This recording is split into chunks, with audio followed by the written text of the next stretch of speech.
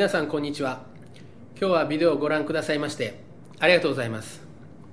プラッツ東京で、えー、石油市場の編集をしている小庄司博之です。このビデオではプラッツが中京と阪神で新たに日本国内石油製品陸上価格のアセスメントを開始することについてお話ししたいと思います。ご存知の方も多いと思いますがプラッツは2016年12月からまず陸上マーケットで取引されている石油製品5油種の東京湾神奈川出しと千葉出し価格のアセスメントを開始いたしました。会場マーケットについては2016年4月からアセスメントを始めています。中京と阪神の陸上価格のアセスメントは今年の11月1日から始める計画です。これによってプラッツがカバーするエリアが関東だけでなく西西日本へ拡大することになります。陸上価格とはタンクローリーで輸送する製品価格のことで具体的には実規格に準拠したレギュラーガソリン灯油軽油低用永重油そして高用永重油の5つの製品を対象とします。カーゴサイズは50キロリットルから200キロリットルまで。受け渡しはアセスメント発行日の翌日から7日後までです。これらの陸上価格は、陸上アセスメントは税金を含まない価格となります。プラッツは正常出し、及び出荷地制限なしの両方を参考にします。買い都内であるビッド、売り都内であるオファー、もしくは制約の情報を提供する場合は、このような条件を明記することができます。マーケットが終了する時間は日本時間、午後2時ちょうど。単位はエンパーキロリットルです。価格やコメンタリーその他の情報はプラッツのジャパンダッシュボードというウェブサイトに毎日日本語で掲載されます。プラッツが国内価格のアセスメントをする上で採用しているのが MOC 方式のメソドロジーです。この MOC 方式はマーケットオンクローズの、略称で、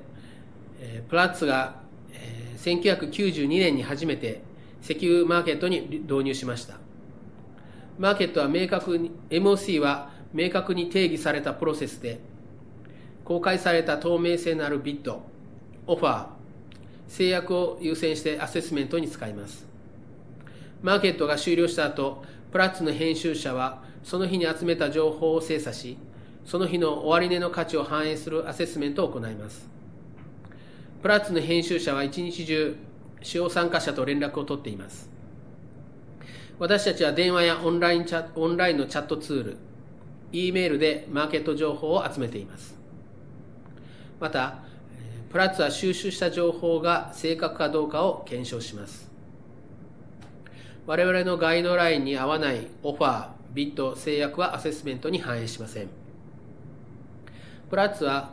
スペック、カーゴの大きさ、その他の条件もメソドロジーガイドに掲載して記載しています。確認された制約がない場合には、編集者はオファー価格、ビット価格、え、関連する他の製品との価格差、原油との価格差なども考慮します。プラッツは、価格が時間とともに変化するものであると考え、石油市場では株式市場のように最も参考になる価格が、え終値であると考えます。一日のうちでも値動きが激しいマーケットでは時間を特定することは重要な考え方です。最後に陸上マーケットで使われる e ウィンドウについてお話しさせていただきます。e ウィンドウとはエディトリアルウィンドウの略称で取引に参加する皆さんがプラッツの編集者を介することなく直接自分のビットとオファーを入力しそれが画面に表示されるシステムのことです。中京と阪神でも陸上アセスメントの開始と同時に e ウィンドウを使うことができます。私たちは e ウィンドウを使うことによって様々な利点が期待できます。画面に表示されているビットやオファーに対して取引したい場合も自分で画面をクリックすることによって、えプラッツの編集者を介さずに取引できます。つまり、情報の伝達がより早く、より正確に行われます。取引が成立した場合は、取引の成立を確認する画面が現れます。e ウィンドウには、インターコンチネンタル取引所、アイスの技術を利用しています。